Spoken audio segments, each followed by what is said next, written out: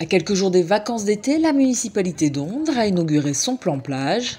Un plan plage avec un nouveau poste de secours tout en bois, un nouvel accès à la plage et un parking en pied de dune qui a nettement été modifié.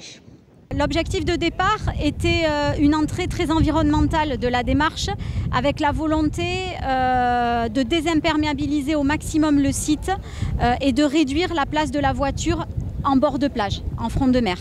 On a conservé une centaine de places en tête de plage, euh, réparties sur deux boucles de stationnement.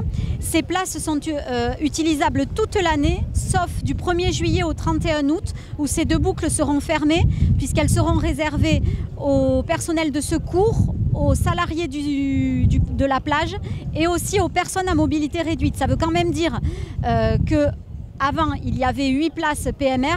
Aujourd'hui, s'il y a 50 PMR qui viennent, ils trouveront une place sur notre parking. Faire reculer les voitures, c'est vraiment euh, un chantier de tous les jours. C'est de nouvelles euh, euh, opportunités à apprendre, de nouvelles façons de concevoir les déplacements.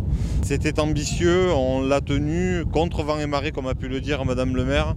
Certains y trouveront leur compte en dehors, on va dire, de la saison estivale. En tout cas, euh, il y avait vraiment euh, pour nous un besoin, une nécessité d'offrir, on va dire, à, cette plage un environnement beaucoup plus naturel. Le parking a donc été reculé de quelques centaines de mètres. Des parkings relais et une navette gratuite seront également à disposition tout l'été pour permettre aux touristes et aux locaux d'accéder à Ondre Océan, la nouvelle marque touristique de la commune.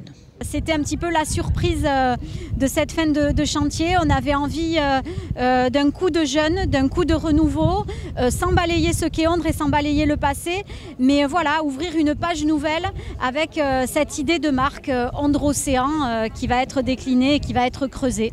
Et, certainement une prise de conscience aussi vis-à-vis des usagers qu'ici nous ne sommes pas spécialement sur une plage comme on peut l'entendre au côté méditerranéen mais bien à l'océan avec à la fois sa beauté et ses dangers.